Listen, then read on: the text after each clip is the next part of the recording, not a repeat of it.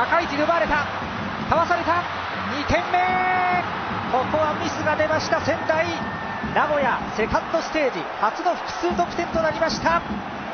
田口のゴール。2対0リードを広げました。8点3へ向けて大きな2点目です。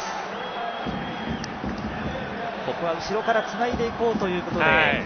仙台も関が転がしたんですがですね、ええ。ちょっと平岡とコミュニケーションが取れてなかったですよね。ね。このプレーです。はい。